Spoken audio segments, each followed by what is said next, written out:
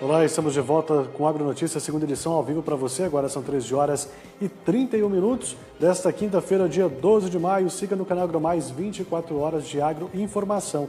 Como você está vendo por aqui, chegou a hora do Desafios do Agro. Bom, vamos lá. Né? Nos últimos dias temos conversado aqui no AgroMais com algumas instituições ligadas ao agronegócio sobre o que elas esperaram do próximo Plano Safra. Hoje nós vamos conhecer as demandas da Federação da Agricultura e Pecuária do Estado de Minas Gerais. A minha convidada é a Aline Veloso, gerente técnica da FAENG. Olá, Aline, seja muito bem-vinda. Satisfação de receber aqui no nosso AgroNotícias. Boa tarde, boa tarde, espectadores. Boa tarde, Thiago.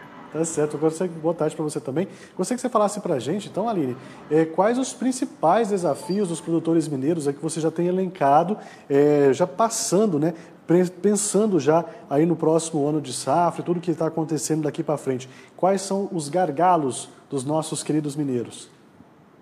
Minas Gerais é um estado que a nossa diversidade produtiva é enorme. Né? Nós temos diversos tipos de pecuária na área da, da agricultura, então infinitas outras atividades produtivas e figurando né, é, nessa comparação com outros estados em primeiro, segundo, terceiro lugar em diversas atividades.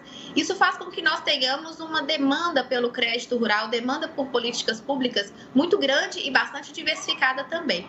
Em especial, para o próximo Plano Safra 22-23, há muitas expectativas, tanto para produtores menores da agricultura familiar, em especial por causa da implementação aí da, do sistema né, de operacionalização da DAP para o CAF, que é uma das questões, mas também com relação às taxas de juros e volumes de recursos. Da mesma forma, médio e grandes produtores e nas diversas outras políticas e dos diversos outros programas né, do Plano Safra, bastante delicada também a situação pela questão que a gente está vendo agora de falta de recursos. Né? Então, expectativas com relação a volume de recursos, a é, valores equalizáveis aí pelo governo e também quanto às taxas de juros. Mas nós estamos confiantes aí de que, em sua parte, também os parlamentares vão acionar e vão se posicionar em defesa dessa, da segurança alimentar e da produção agropecuária.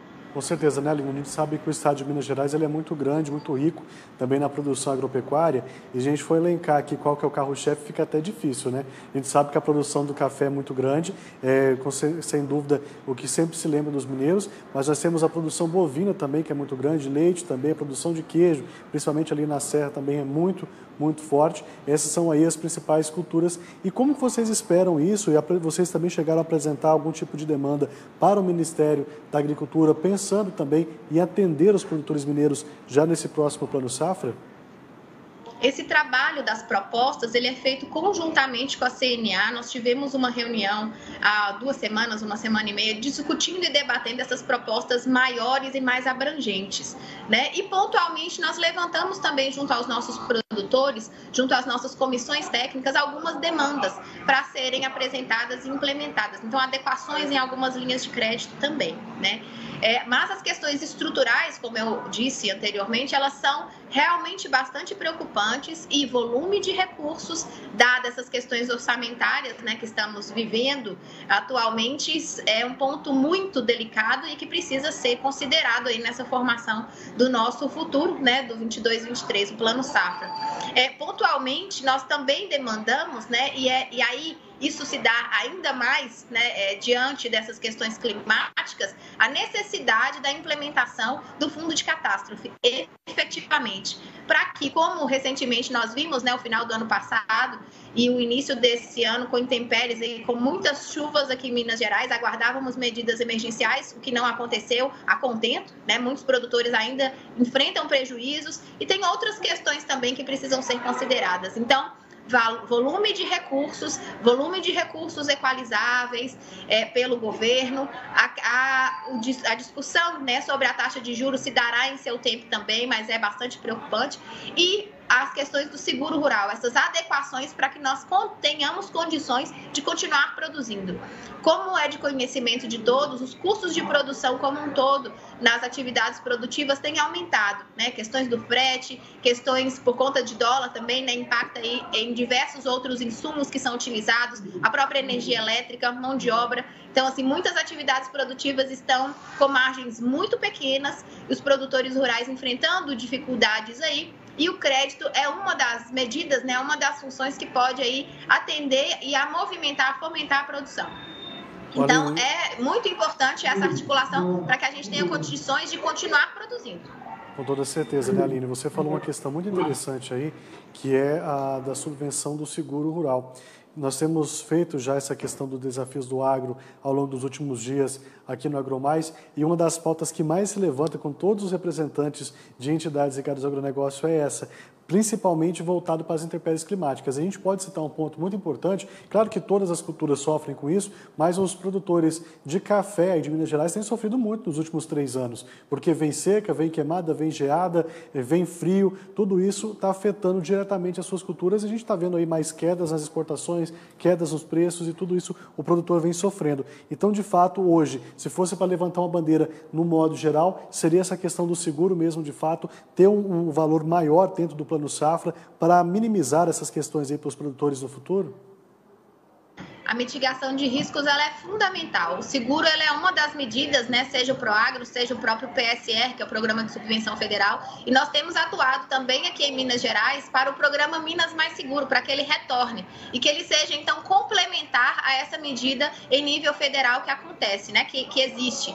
Então, volumes orçamentários para o programa PSR, para adequações dentro do próprio Proagro, quando cabe, né, e para atender aos produtores nessa disseminação da cultura do seguro, ela ela é fundamental, justamente por conta da ocorrência das intempéries, pela sucessão de diversas né, ocorrências que aconteceu. Você citou agora há pouco a questão da cafeicultura, mas nós tivemos muitas outras atividades que também foram impactadas e que os produtores precisam conhecer também. Os produtos de seguro, aqui no Sistema FAENG nós já temos trabalhado essas informações, né, a difusão da informação do seguro, produtos adequados para que o produtor também seja acolhido, entenda um pouco mais disso e tenha aí a possibilidade possibilidade de contratar e se precaver, né, minimizando seus, os seus uh, custos e minimizando os seus prejuízos em caso da ocorrência de um sinistro.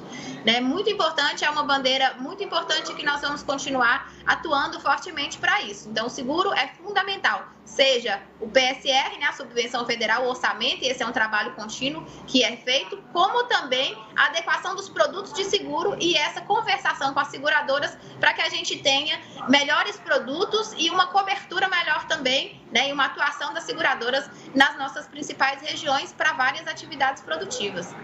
Com toda certeza, né? Para a gente encerrar então nosso bate-papo, estamos no ano eleitoral, a gente não sabe o que esperar aí já para o próximo ano. Mas se a gente for fazer uma análise como essa que você fez agora, voltada para o Plano Safra, o que o sistema FAEG, como um todo, e os produtores mineiros esperam aí de um próximo governo? O sistema FAENG ele tem atuado fortemente indo ao interior, ouvindo os produtores, ouvindo os nossos sindicatos. Hoje, por exemplo, eu estou aqui em Curvelo, na Exposebu, fizemos uma atuação aqui ontem bastante forte com o sistema FAENG itinerante, respondendo é, questões e acolhendo os produtores nas suas demandas, fazendo orientações. E esse ponto né, da política, essa questão de institucional né, e de relacionamento, ela é fundamental para que nós tenhamos políticas públicas adequadas, orçamento em seu tempo, né, porque essas questões elas são votadas no Congresso, mas né, vamos caminhar por outro lado. A política, essa articulação, ela é feita em nível municipal, em nível estadual, em nível federal. E essa construção e esse debate, conhecendo a realidade do campo, conhecendo a estrutura e né, sabendo e buscando aí parceiros e buscando políticos que realmente e efetivamente representem o agro é fundamental. Nós estamos nessa atuação, levantando as demandas dos produtores e atuaremos né, nesse debate com os candidatos em seu tempo para buscar também que eles atendam e entendam o agro, para que a gente tenha melhores condições e continuemos, né, produzindo com qualidade, produzindo em volume, atendendo o nosso mercado interno, atendendo também comercializando com o mercado internacional e antes de mais nada, essa parceria, esse entendimento, ela é fundamental para que a gente tenha condições de realizar tudo isso. Muito obrigada. Eu agradeço, viu, Aline, mais uma vez a sua participação aqui com a gente, trazer um pouquinho mais dessa visão dos mineiros que estão preocupados também com o plano safra e também com o futuro da agricultura aqui no nosso país. Mais uma vez, muito obrigado, ótima tarde para você. Se tiver mais notícia, mais novidade, está convidado a voltar. Muito obrigada, um abraço a todos e continuamos à disposição aqui no Sistema FAENG, no interior de Minas Gerais.